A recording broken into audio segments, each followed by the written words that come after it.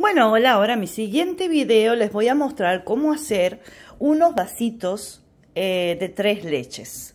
Entonces yo lo que preciso para esto es, hice un bizcochuelo, después tengo la fruta picada, que es frutilla, tengo los blueberry estos, y tengo las leches, que después yo les voy a dejar el link con la receta de cómo preparo la mezcla de las diferentes leches para mojar los pancitos. Y además tengo ya la crema batida.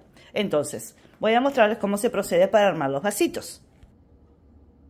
Ok, mojamos los pancitos con las leches para que se vayan humedeciendo. Ahora le vamos a poner la crema.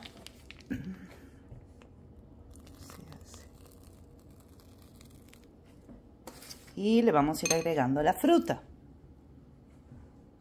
Unas frutillitas. Así. Ahí.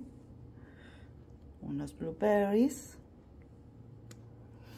Y nuevamente le vamos a agregar los pancitos para volver a mojarlo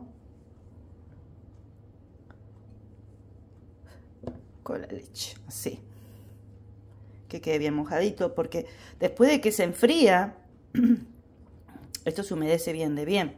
Entonces queda espectacular y riquísimo. Y ahí va la crema.